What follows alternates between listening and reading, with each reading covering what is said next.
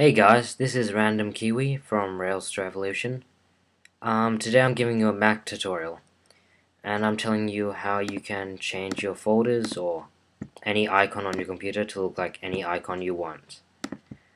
And this is useful because, for instance, this is a folder, this is actually my hard drive, and this is actually my Time Machine backup hard drive. And this here is actually chess. And basically what this can do is make any folder look like whatever you want it to look like. Okay, so we'll start by making a new folder and we'll call it test. Good. Now say we want test here to look like um, this elephant for example. What we want to do is get the icon you want it to look like, right click it, press get info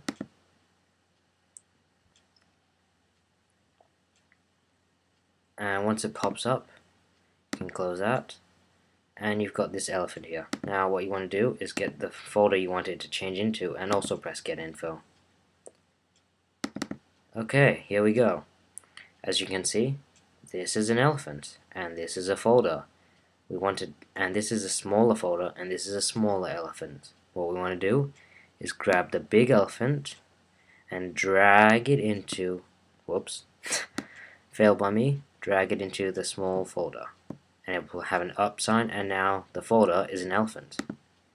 It's still a folder and will still open normally but it looks like an elephant. Okay, now say you want it to look like something, I don't know, something that's not just on your MacBook and applications. For instance, I got this from the internet. Um, yeah. Okay, what we want to do, create a new folder and call it test2. Okay, so say we want to get something from the internet, let's go to Google Images, I've already got it open. Now say I want it to look like this square. What we want to do, simply right click it, copy image, scroll back here, right click it, get info, and now you click the small folder until it glows blue like this. Then we press Command V or you paste. And as you can see, um, it now looks like that picture from Google Images. The only thing is there's white background. Now that can be a problem to most people, so make another test folder. Test 3. Now what we want to do is go to that picture and we have to save it from the internet. So save image as. And then we'll just save it in say our downloads call ES. And should have saved. Yep, it's saved. Okay. Now what we want to do is open ES with preview. Should open like that by default unless you've changed it. Now all we need is preview. We don't need some big editing tool. Okay, so it's opening now.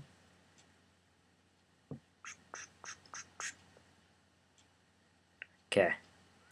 So what we want to do is, first of all, as you can see, most images should save as a JPG. The thing is, um, JPGs can't handle transparency. So what you want to do is, with the rectangular selection, select a small area, and just press delete. And then it'll say this. So basically you have to duplicate another image and save it as a PNG. And you can get rid of the old JPG. Okay. So now what we want to do is go to instant alpha. Now I'm assuming that the part you want to get rid of is white or black or some background color. What we want to do is um, just click and drag that background color until you see all the background color disappear and it'll highlight it all for you. Now you just press delete. Good.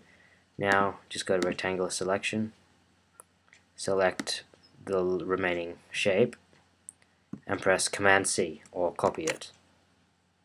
Now, oh, okay, it's going to ask me some stuff. Well, either way, we go to get, oh, okay, don't worry about this, cancel. Either way, we go to get info after you've copied this. Then we click on this until it glows again, and we press Command V or paste. And basically, now it looks exactly the same as this one, but it's transparent in the background and looks a bit more normal. Okay, so yeah, that's my tutorial. Um, feel free to subscribe, um, like this video if you thought it helped, and yeah. Also, we've got a new Facebook group open. If you want to be part of our events or in our videos, basically, you can feel free to join it.